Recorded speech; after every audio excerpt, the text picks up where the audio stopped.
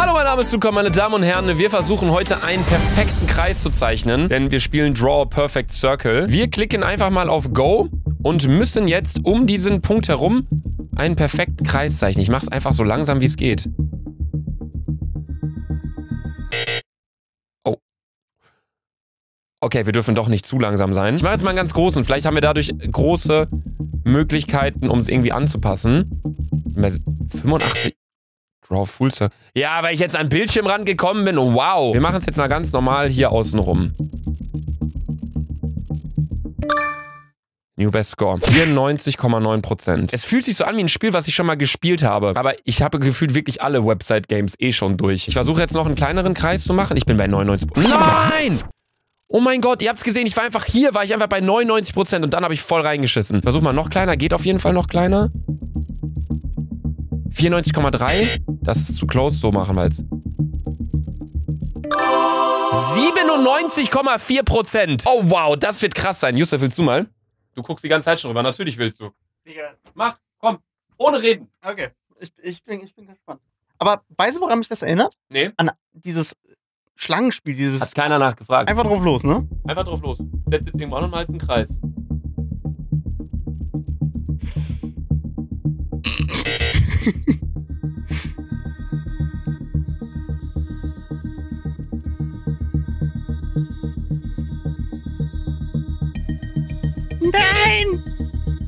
Ist echt schwer. Vielleicht. Man verkackt immer so. Die erste Viertelumdrehung ist krass. Das war bei mir auch so, weil ich einfach bei 99%. Ja, mach jetzt mal Was einmal. ist das, Junge? Mach jetzt mal einmal einen kompletten Kreis, dass du einmal so die Umdrehung überhaupt drin hast. Sehr gut. Also wenn da einer auf 100% kommt, ich kaufe euch ein Auto. Und es werden jetzt nur Leute kommen, die das photoshoppen. Yusuf, sobald du einmal auf diesem Stuhl sitzt, ist es komplett heiß, ne? Das ist so irre. Dieser Typ hat eine integrierte Sitzheizung in seinem Arsch. Ey, das gibt's doch gar nicht. Ich mache jetzt nochmal einmal einen Highscore. Guck mal, 99. Ah, und jetzt kacke ich wieder rein. 95,8. Ist trotzdem so, dass so ein Hintergrund kommt. Aber 97,4?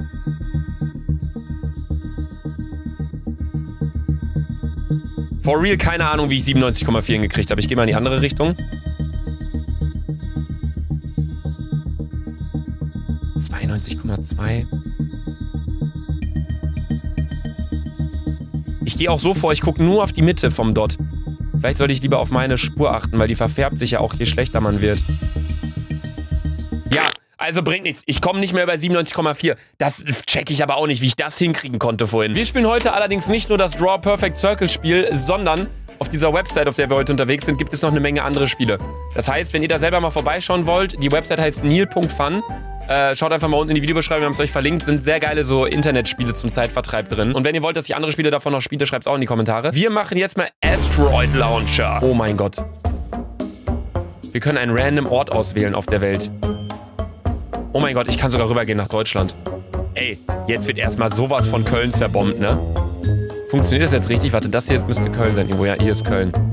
Da ist Köln. Ey, wir hauen jetzt erstmal. Guck mal, wir können jetzt hier auswählen, wie groß das Ding sein soll. Wir machen jetzt mal einen kleinen. Machen wir einen Meter. Speed machen wir auch nicht zu doll, machen wir 20 km/h und Impact Angle machen wir mal, ma- lassen wir mal auf Stand. Launch Asteroid, okay. Hm? Ah. Jetzt launchen wir da einen Asteroid. Gleiche Einstellungen.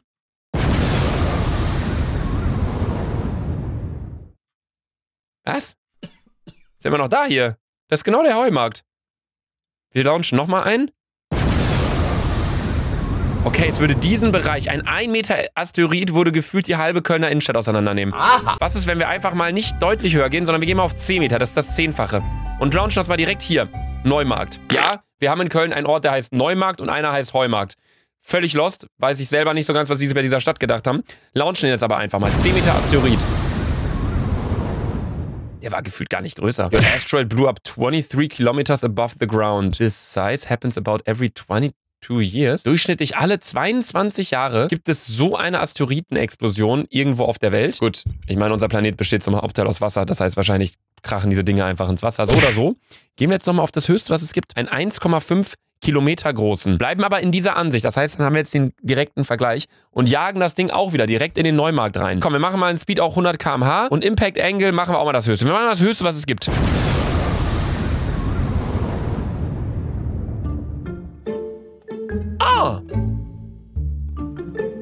Hm. Haben wir auch noch die Hälfte von Düsseldorf mitgenommen, tatsächlich. Äh, Leverkusen auch komplett mitgenommen, haben wir Gladbach mitgenommen. Wo ist denn Gladbach?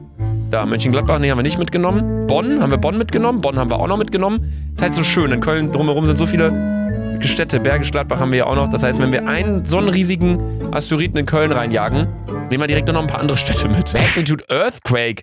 Ach, allein dadurch, dass wir diesen Meteoriten oder diesen Asteroiden, ich weiß nicht, was der Unterschied ist, allein dadurch, dass wir den in Köln reingejagt haben, hätten wir ein Erdbeben der Stufe 9,2 erzeugt, von dem allein von dem Erdbeben nochmal 600.000 Leute gestorben wären. Das finde ich so irre. Und das alles mit einem, mit diesem Krater. Damit hätten Leute einen Impact, die dann basically hier unten sind, in Monaco. Hier unten wäre das einfach angekommen. In Monaco. Sogar zum Teil auf Mallorca. Die obere Schicht von Mallorca hätte einfach diese Schockwelle mitbekommen. Ich bin mal gespannt, was passiert, wenn wir es theoretisch genau das gleiche Ding mitten in den Nordatlantik hauen. Mitten, wo das Schild ist. Launchen wir mal.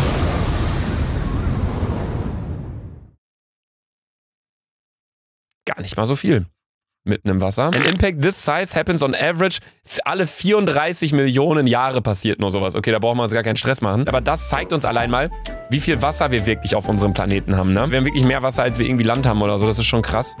Ähm, deswegen werden solche Dinger wahrscheinlich einfach nur... Boah, schaut euch das mal an. Es erinnert mich gerade an das Cover von dem Buch Der Schwarm. Habt ihr das gelesen? Sehr gutes Buch. So oder so will ich an der Stelle das heutige Video jetzt auch beenden, meine Damen und Herren. Wir beten natürlich alle, dass so ein Asteroid niemals einschlagen wird, während wir noch auf dieser Erde sind. Wird es aber höchstwahrscheinlich auch nicht. Ich finde das auch so irre in der Wissenschaft, dass sie einfach wirklich vorhersagen können und predikten können, yo, dann und dann kracht der und der Asteroid mit der und der Neigung dort und dort rein. Da habe ich höchsten Respekt vor, wenn Leute sich einfach mit äh, Astrologie, ist es Astrologie oder Astronomie? Ast Astronomie. Astronomie, ne? Was Astrologie? Gibt es überhaupt? Gibt es einen Unterschied? Ich habe keine Ahnung. Ich finde es auf jeden Fall irre, wenn sich Leute damit auskennen. Studiert irgendjemand von euch was in die Richtung? Das würde mich geistkrank interessieren. Schreibt es dort in die Kommentare. Lasst einen Daumen hoch unter dem Video da, wenn es euch gefallen hat. Abonniert meinen Kanal und klickt auf die Glocke, wenn ihr das morgige Video nicht verpassen wollt. Morgen kommt eine Reaction online und da sehen wir uns dann wieder. Gibt es einen Unterschied? Die Astronomie ist die Wissenschaft, die sich mit den Himmelskörpern der Bewegung und deren Entwicklung beschäftigt. Die Astrologie dagegen beschäftigt sich mit dem Schicksal der Menschen unter dem Einfluss der Planeten. Also Astronomie. Astronomie. Tschüss.